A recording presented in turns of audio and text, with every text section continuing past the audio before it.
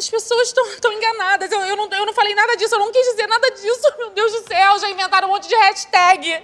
Ela não, ela nunca, pelo amor de Deus. Não. que foi, Chubiruba?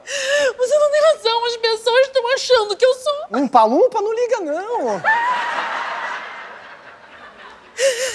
Garoto, as pessoas estão achando que eu sou gordofóbica. Mas, Jéssica, mais uma vez você mesma me disse que tinha medo de engordar.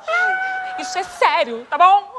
Gente, eu preciso fazer um plano, eu preciso armar um plano pra eu recuperar minha imagem. Mas você perdeu sua imagem, eu tô te vendo. Eu perdi seguidores, tá? E o restante que tem aqui tá me xingando. Ah, Chubiruba, não fica assim não. Vem cá, tá? Vem cá. Vem cá. Fica calma, tá? A gente vai pensar juntos numa solução. Tá bom? Essa ideia foi sua ou minha? Foi sua, só que passou pra mim, você não percebeu? Não, foi tão rápido que eu nem percebi. E qual foi a minha ideia? Genial! Quando a Bianca Rasputini voltar aqui em casa, eu vou invadir a reportagem dela e vou fazer um protesto contra a gordofobia. Genial, Chubiruba! Completamente nua. Que porra é essa, Jéssica? O que é que ficar nua tem a ver com gordofobia? Ué, eu preciso chamar atenção. E o que, que a gente faz pra chamar atenção? Não sei, levanta a bandeira, grita, bate panela que nem um idiota? Michael, eu vou fazer um protesto completamente nua e eu não tô entendendo por que você tá achando ruim se a ideia foi sua. Como é que eu tenho uma ideia da minha noiva passar completamente nua no telejornal da família brasileira? Ué, pe- pelo nosso casamento. Nosso casamento tem a ver com isso, Jéssica. Michael, acompanha o seu raciocínio, cara. Cadê ele? Olha só, o negócio é o seguinte: quanto mais apelativa eu for, mais seguidores eu vou ter, mais atenção pra causa, meu corpo, minhas regras, o ativismo, o feminismo, entendeu? Vai ter mais visualização e eu vou ganhar permuta com as marcas pro nosso casamento, vai sair super barato. Olha, até que olhando por esse lado faz sentido. Não é? Mas agora eu vou olhar por outro lado. Também faz sentido. Olha isso.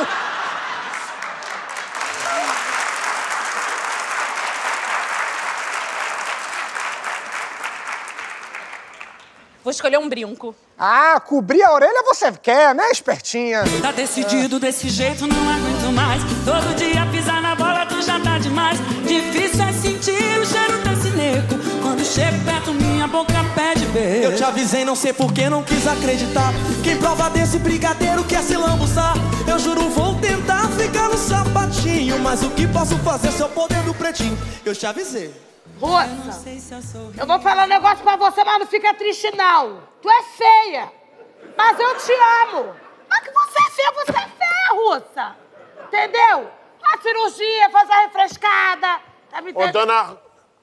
Ih, desculpa, entrei errado. Não era com você que eu queria falar, É, não. O que que é, Regina? Tava me procurando? Que tava me procurando, achou. Mas, cara, tu acha que o mundo gira em torno de você, né? Você gira em torno de mim. Não, tu que se acha. Eu vim aqui falar com Dona Rosa. Ih, agora tu vê. Tá cheio de interesse pra Dona Rosa. Doido pra dar-lhe um tracanco lá com ela, hein? Traco. Doida pra dar Fala. uma peguete. Ih, um belisquete com ela. É, você malda tudo, né? Nada, tem o maior respeito com ela. Respeito. Ah, sai tá fora. doida ali pra dar uma pegadinha nela. Pra... Ih, tá, tá agora tu vê. Cheio de tá. Reginel, oi, querida. Eu estava te procurando. Ah, eu também, Dona Rosa, tava te procurando. Que bom te achar. Uma pessoa tão incrível. Vem aqui no cantinho comigo, vem aqui. Só um instantinho. É, dá licença, tá? Para, Reginel, não fica bem um funcionário me chamar assim pra vir no cantinho. Não, não tem problema nenhum, não. Eu não sou teu carteiro. Então, eu tenho que vir no cantinho falar com você. Ai, esqueci que você era funcionário dos Correios. Ah, então pode. Fala, Reginel. Vem cá, meu amigo tá perguntando cadê a grana do ar-condicionado. Veio tudo estragado, eu não vou pagar! Deu merda. Pra baixo. Escuta, eu primeiro preciso instalar os ar-condicionados pra depois alugar o quarto pra ter dinheiro. É porque é o seguinte, entendeu? Esse meu amigo, ele é lá do Morro do Serol. E ele não gosta de levar, não gosta de levar calote, não. Eu não queria nem ouvir, mas eu fui obrigada. Falou Serau, eu fui obrigada. O que que é? Quem é ela do Serau? Caraca, tu é mó futriqueira, hein? Ah, não, peraí um pouquinho. eu já estou ficando um pouco nervosa. Quem é esse seu amigo do Serol? Ele é do mal? Diga-me com quem anda que eu te direi quem és. Quem, Quem é? és? Quem és? Quem és? Ele é o Zé Lenhador. Não, tudo que vende é ruim. Ai, meu Deus. Aqui. Mas minha comadre tá sabendo que tu tá de conversa fiada com ele? O quê? O quê? Hã?